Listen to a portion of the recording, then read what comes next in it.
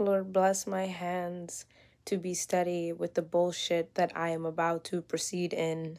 I have my associate's degree in trichology, the study of hair and scalp. I went to Empire Beauty School in like I graduated in 2018. I finished my course in 7 months and like 3 days, I think. Um so that is like my technical background here. Do I have business doing this? No, probably not.